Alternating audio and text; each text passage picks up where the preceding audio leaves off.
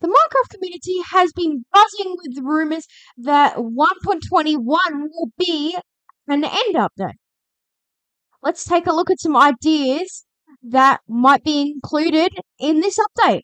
Well, first, obviously, new biomes, new mobs, including a interesting cow mob.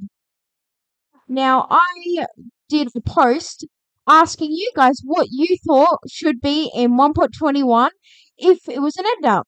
And one of you said that there should be a end cow that if you milk it, you get a drink that teleports you randomly, a bit like chorus fruit, a bit like chorus fruit.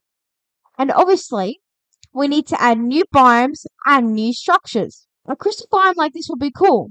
And we need trees and we need a way to get wood. Now, an idea I have is that different Endermen will drop different Ender pearls that will do different things. Like one Enderman could drop a pearl that teleports items instead of players. And by the way, guys, I'm using a mod pack to show this off. Um, if you search end update or something on Curse on CurseForge, then you'll find this. Oh, that is some weird generation. Now, of course, the end update would get its own plants. Crystal grass. Interesting. And obviously its own structures. Well, apart from the end cities and the end ships that we already have. And it needs to be survivable without being in the overworld like the nether. You can survive in the nether without going to the overworld.